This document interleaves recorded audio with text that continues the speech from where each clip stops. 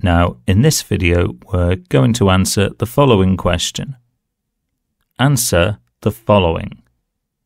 One third of three sevenths. If you find this video useful, please consider leaving a like, a comment, and subscribing to our channel for more content like this. To find a fraction of a fraction, we multiply both fractions together. That means multiplying together the numerators, that's the top number of each fraction, to get the numerator of our answer.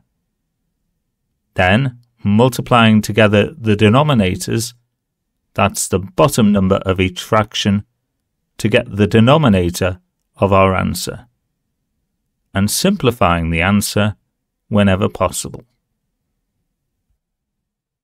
The numerators of our fractions are 1 and 3. 1 multiplied by 3 is 3. So the numerator of our answer is 3. The denominators of the fractions are 3 and 7.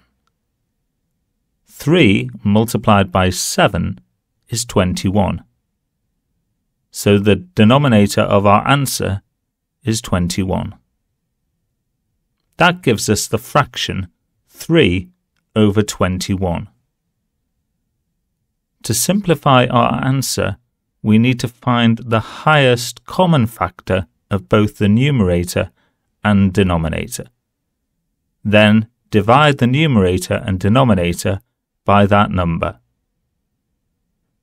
The highest common factor of 3 and 21 is 3. 3 divided by 3 is 1, and 21 divided by 3 is 7. That gives us the fraction 1 over 7. So the answer to this question is 1 over 7. If you found this video useful, please consider leaving a like, a comment, and subscribing to our channel. Thank you.